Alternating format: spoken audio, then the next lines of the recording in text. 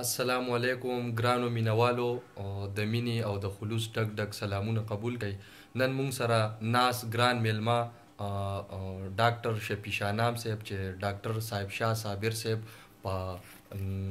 شاعرۍ باندې پی ایچ ډي کړې ده هغه به نن مونږ ته د ډاکټر صاحب شاه صاحب یو آزاد نظم ووایي چې عنوان یې دی په کابل مه وروې. په کابل مه وروې نو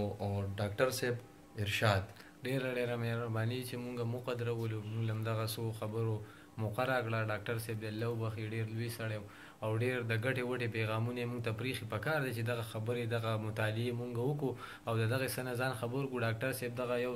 سندره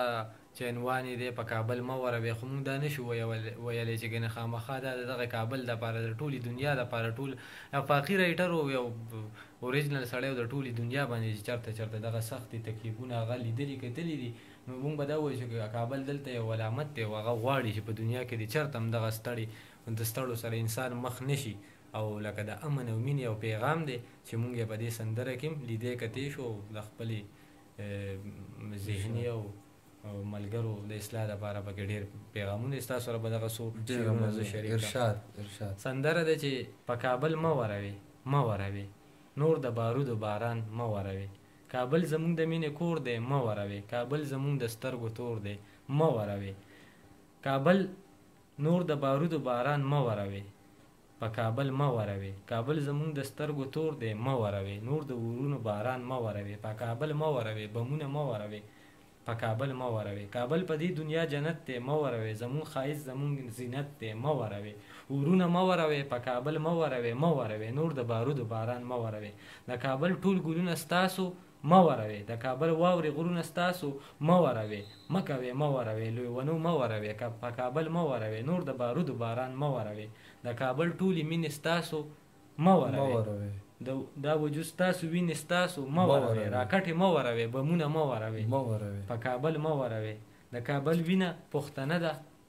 هسې یې مه تویوې د کابل مینه پښتنه ده هسې یې مه سپکوې مه کوې مه وروې مه کوې مه سپکوې په کابل مه وروې نور د بارودو باران مه وروې کابل که وران شو ټول به ورک شې مه ورکوې ځانونه مه ورکوې ټول به په ټوله دنیا سپک شې مه سپکوې ځانونه مه سپکوې ځانونه مه ورکوې ځانونه مه ورکوې بمونه مه وروې راکټې مه وروې په کابل مه وروې نور د بارودو باران مه وروې په کابل مه وروې مه وروې مه وروې نور د بارودو باران مه وروې. ډیره مننه ډیره مننه ډاکټر صاحب ډیر ښکلی ډیر ښایسته نظم تاسو مونږ ته ووی ګرانو ملګرو دغه شان به د